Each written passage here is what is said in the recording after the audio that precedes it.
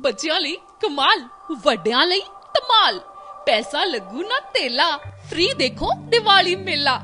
Free entry free food ਤੇ free parking ਗੁਫਾ ਸ਼ਿਵ ਭਗਤ ਬਾਬਾ ਬਾਲਕਨਾਥ ਮੰਦਿਰ ਦੀਆਂ ਸਮੂਹ ਸੰਗਤਾਂ ਵੱਲੋਂ ਹਮੇਸ਼ਾ ਦੀ ਤਰ੍ਹਾਂ ਦੀਵਾਲੀ ਮੇਲਾ ਇਸ ਸਾਲ ਵੀ ਲਗਾਇਆ ਜਾ ਰਿਹਾ ਹੈ।